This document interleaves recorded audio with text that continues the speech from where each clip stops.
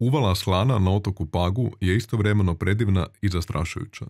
Kad zagrebeš malo dublje u njene prirodne i povijesne slojeve, a potom pročitaš Antu Zemljara, umjetnički i istraživački poriv se neminovno budi. Za Davora Konjekušića, Niku Petković i Gorana Andlara to je bio okidač da 2017. krenu u projekt Slana radikalni krajobraz. U najveću su mjeri uspjeli rekonstruirati kratko, tek dvomjesečno, ali upravo stravično doba postojanja Ustaškog koncentracijskog logora Slana. Projekt je kao izložba sada predstavljen i u Riječkoj galeriji OK. Da li sam prostor, da li neka prirodna cijelina može komemorirati, da li mi unošenjem značenja kad ti vidiš tu stijenu u slanoj, da li zapravo samo kroz unošenje značenja i konteksta, da li ta priroda, ta surova priroda može komemorirati ne samo tu priču tamo, nego i u širem smislu. Ne? Umjetnici se ovim projektom trude odgovoriti na pitanja. Na koji način je povijest izbrisana iz krajobraza? Mogu li svojim umjetničkim postupcima ispričati vjerodostojnu priču, koju bi potom vratili u prostor gdje pripada?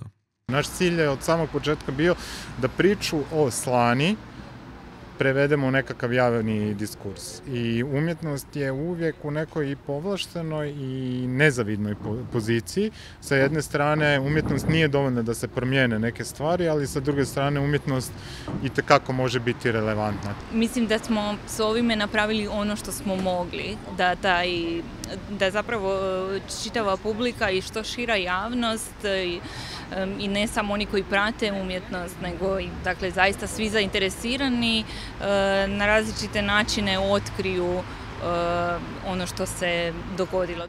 Izložbu Slana Radikalni krajobraz čine tri dijela. Serija fotografija, 3D mapa koja je nastala kartografskim istraživanjem konc logora, te film Uvala, središnja sastavnica projekta najstrašnije od svega toga je da taj prostor nikad nije adekvatno komemoriran, da mislim kao što svi znamo da je svaki pokušaj komemoracije e, završio tako da je najobičnija ploča e, srušena.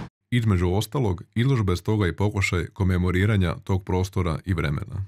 Nažalost, moja generacija koja je preživjela rat, nekako se uvijek vraćamo tim teškim temama i nama nešto previše tu izbora. Dakle, htjeli ne htjeli, ne možemo se baviti možda, ne znam, pitanjem vinske kulture u Istri i gastronomije i tartufa, nego se vraćamo onima što je zapravo neko naše bazično okruženje bilo.